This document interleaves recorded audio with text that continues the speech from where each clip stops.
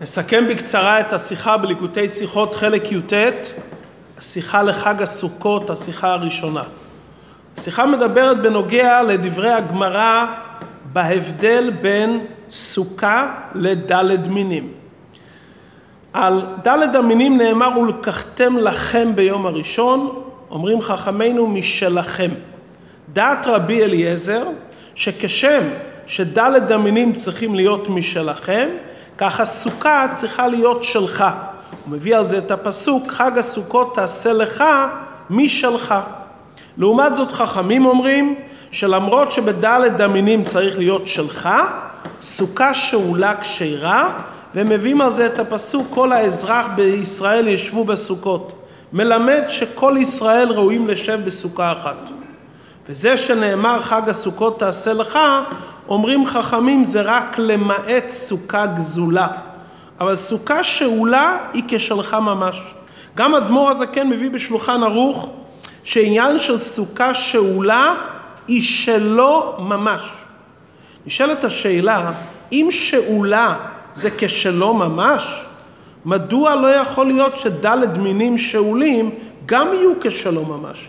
אם הגדר של שאולה זה כשלו ממש, מה ההבדל אם כן בין דלת מינים שצריך שיהיה שלך ממש ולא יוצאים ידי חובה בדלת מינים שאולים, מה שאין כן בסוכה להלכה יוצאים ידי חובה ובלשון אדמו"ר הזקן זה כשלום ממש. הסברת הדברים על פי פשט, העניין של סוכה זה הרי תשבו כאין תדורו. שהחבר משיל לו את הסוכה, הוא משיל לו את הסוכה שהוא יצא ידי חובה.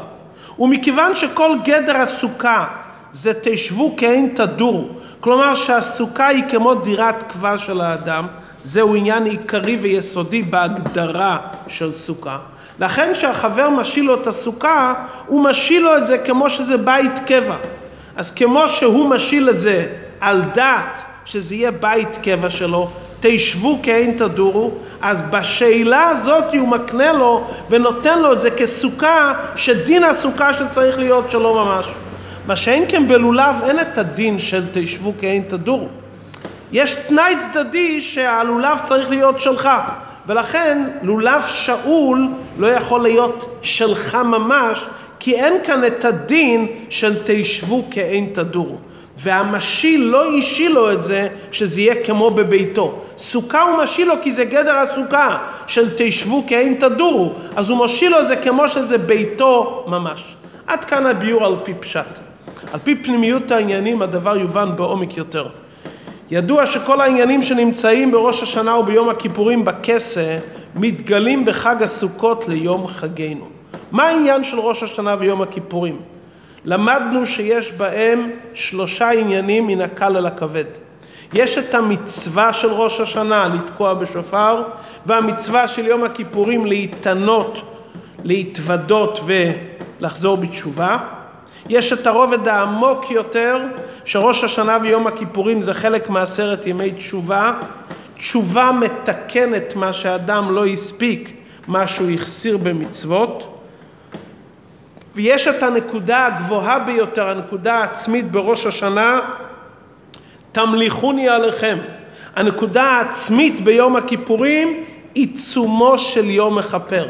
זה מכפר עוד יותר מאשר התשובה. שלושת העניינים הללו זה בעצם דרגות שונות בקשר בין יהודי לקדוש ברוך הוא. שיהודי הוא מציאות עצמאית, איך הוא מתקשר לקדוש ברוך הוא? באמצעות מעשה ממשי. הוא מקיים מצווה, הוא מקיים את גזירות המלך. אופן עמוק יותר, שהוא ביטל את מצוות המלך משום מה, ואז הוא מתעורר ברגש פנימי ועמוק שכואב לו והוא מצטער ומתחרט על זה שהוא פגם, מתעורר אצלו משהו פנימי יותר והוא רוצה לחזור בתשובה. זה קשר פנימי ועמוק יותר מאשר קיום המצווה לכשעצמה. אבל עדיין גם הקשר הזה תלוי במציאות של האדם. שהאדם מכיר במציאות שלו שהוא לא קיים את רצון המלך, והוא מבין שזה דבר בלתי רצוי, ולכן הוא מתעורר ברגע של געגועים וצמאון וחרטה, שזה רגש התשובה.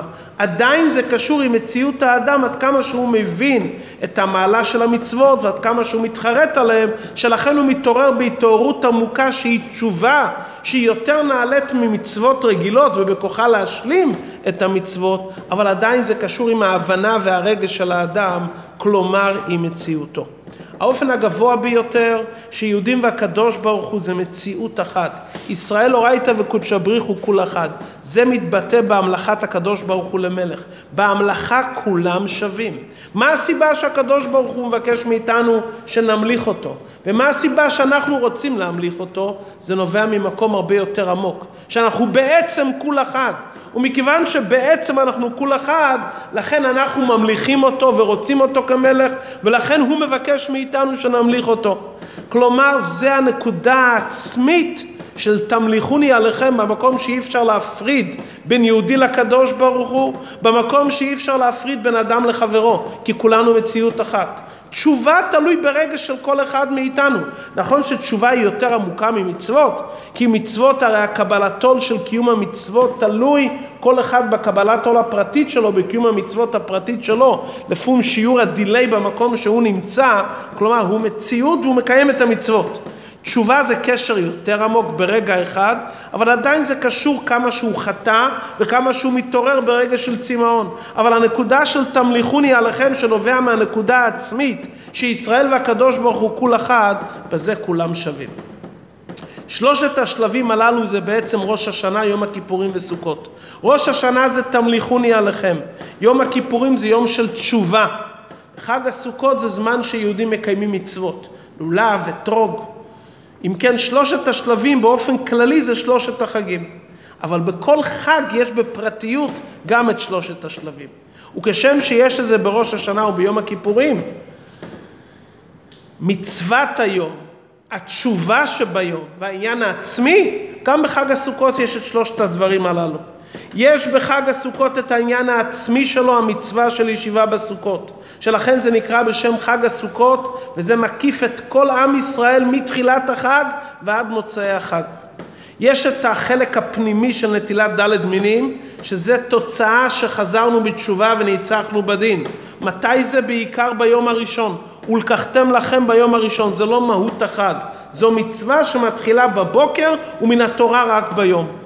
ויש את השלב הפרטי והכי קרוב אלינו, ושמחתם לפני השם מצוות השמחה בחג הסוכות.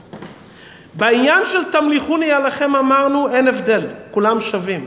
לכן, גם בישיבה בסוכה, שהישיבה בסוכה זה הנקודה העצמית שיש בחג הסוכות, כולם שווים. זה לא נטילת דלת מינים שעניינה להוכיח שזכינו בדין. זה לא השמחה שכל אחד שמח לפי דרגתו. שמחת בית השואבה היה הבדל בין אנשים, ראשי ישיבות לאנשים פשוטים שבאו לראות. בנקודה של הישיבה בסוכה זה הנקודה העצמית שכל עם ישראל שווים, ולכן כל ישראל ראויים להישב בסוכה אחת. כי לכתחילה זה נקודה שכולנו מאוחדים. ומכיוון שהמקום הזה של ישיבה בסוכה זה גילוי הנקודה של כול אחד, לכן כל ישראל ראויים להישב בסוכה אחת, ולכן סוכה שאולי היא כשלא ממש. כי לכתחילה העניין של הישיבה בסוכה מגלה את הנקודה שכולנו כאחד. יוצא מן הכלל סוכה גזולה שהוא מנגד וסותר את האחדות. אבל ברגע שזה סוכה שאולי היא כשלא ממש, כי בעצם זה כול אחד. מה שאין כאן העניין של נטילת דלת מינים, הפוך, כאן רואים הבדלים. יש, יש לולב ויש אתרוג ויש ערבה, כל אחד מסמל על סוג אחר בעם ישראל. נכון שלוקחים את כולם ומאחדים אותם כמציאות אחת, אבל עדיין כל אחד נשאר במציאות הפרטית שלו. זה לא במקום שאין הבדלים, יש הבדלים ומאחדים, ב, בתוך ההבדלים. ולכן על חג הסוכות נאמר בלשון יחיד, חג הסוכות תעשה לך, לשון יחיד ככל עם ישראל כמציאות אחת. מה שאין כן בדלת מינים ולקחתם לכם יש כאן רבים. ולכן בסוכה שאולי יוצאים ידי חובה, כי זה כשלום ממש. מה שאין כן בין ארבעת המינים צריך שיהיה שלך, כי בארבעת המינים לכתחילה זה האחדות במקום שיש הבדלים בין אדם לחברו.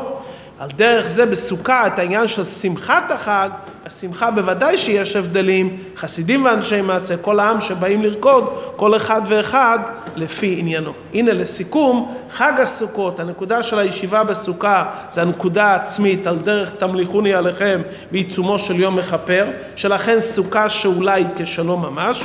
מה שאין כנטילת דלת המינים זה המשך של התשובה שתלוי כל אחד בהתעוררות התשובה האישית שלו ובוודאי שהעניין של שמחת בית השואבה שהיה בזה חילוקים זה על דרך המצווה של תקיעת שופר ועל דרך העניין של הצום של יום הכיפורים שבזה כל אחד ואחד יש את ההבדלים בין אדם לחברו